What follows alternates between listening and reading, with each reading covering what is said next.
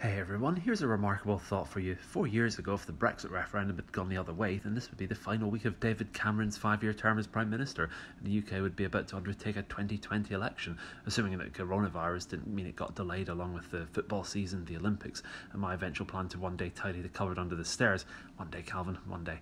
As it is, we've had multiple elections, two prime ministers, and the COVID thing, which I guess has made Dave Cameron think twice about ever going near a bat or a pig again. Remember that thing about the pig? But I digress. Dave instead spent the past five years inside his shed watching Amazon and listening to podcasts. In some respects, I guess we're all Dave Cameron now, thanks to the lockdown. All I have to do is wait for the pub to reopen so I can leave one of my kids there. Coronavirus, though, we're now into month four of this, and ironically, it's about four months into a military siege that you start having to eat the wild animals, and the zoo becomes a market like that one in China.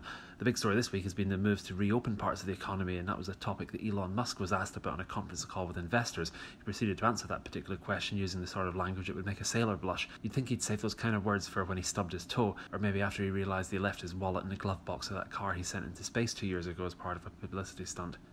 The facts do seem to be that Sweden's approach has been working, though, and if you separate the New York statistics, then the rest of America actually has one of the lowest per capita rates in the world.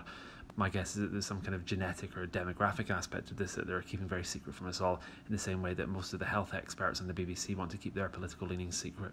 You know, when a doctor's involvement in political activism is kept more confidential than the records of his patients, then you can trust that interview to be about as honest as one where a child covered in chocolate denies knowing where the Cadbury went.